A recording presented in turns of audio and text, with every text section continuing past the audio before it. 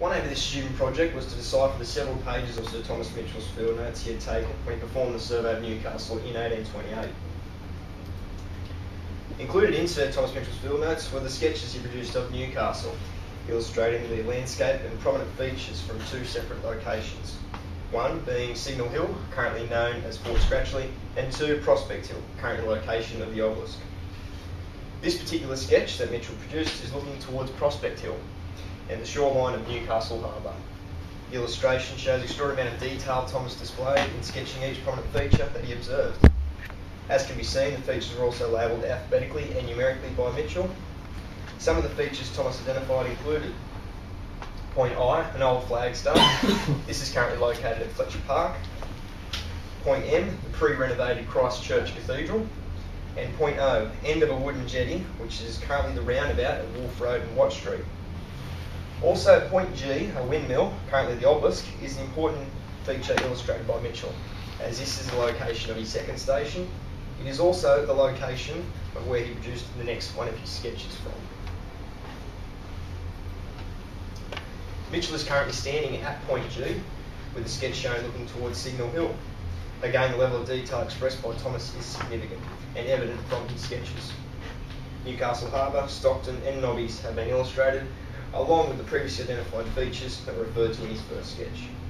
Points M, O and I, along with the reference made to location's first station being where he produced the previous sketch from.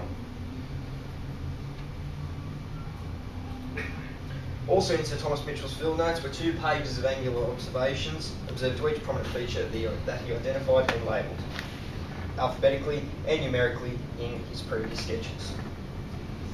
The angles between these features have been measured in degrees minutes, which is recognised by every number following the decimal point being less than 60. Furthermore, the theodolite used by Mitchell in 1828 could measure angles both vertically and horizontally to the nearest minute, which supports this conclusion.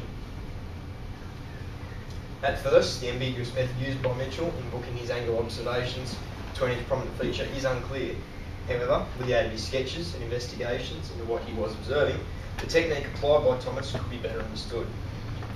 The far left column shows Mitchell's first set of angular observations, where he has set zero degrees as a backsight to point M, the church cathedral, then measured the angles to each feature in a clockwise direction from the church.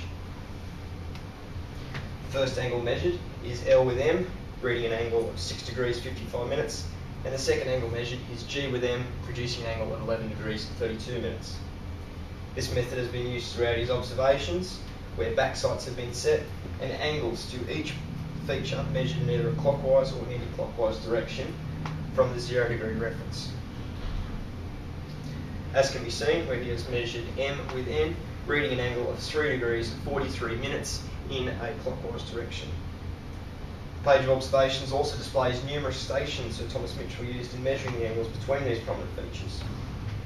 Station at Bonfire at Newcastle was Thomas's first station set up, and Station 3 at Point 10 is third station position, and continues to position stations around Newcastle with a total of 15, allowing Mitchell to re-observe the majority of the identified features that he previously cited to. This provided accuracy, determination of his observations with multiple readings allowing an error to be calculated from their differences, as will be later. Vertical angles or elevations were also measured by Thomas with six sets of measurements to both the 40 foot and 30 foot flagstaffs that stood atop of Signal Hill in 1828.